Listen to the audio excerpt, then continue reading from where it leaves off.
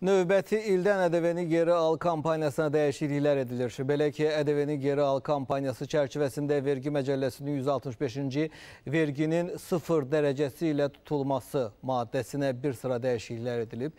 Dəyişikliklərə əsasən gələn ildən avtomobil alkoqollu, içki və tütün məmulatları alan zaman ödənilən ƏDV geri qaytarılmayacaq. Buna qədər isə bu istisna yalnız neft və qaz məhsullarına tətbiq olunurdu. Bununla yanaşı növbəti ildən tibb müəssisələri tərəfindən göstərilən tibbi xidmətlərə görə ödənilən ƏDV-nin də bir hissəsi geri qaytarılacaq. Digər dəyişiklik yaşayış və qeyri-yaşayış sahələrinin alınması ilə bağlıdır.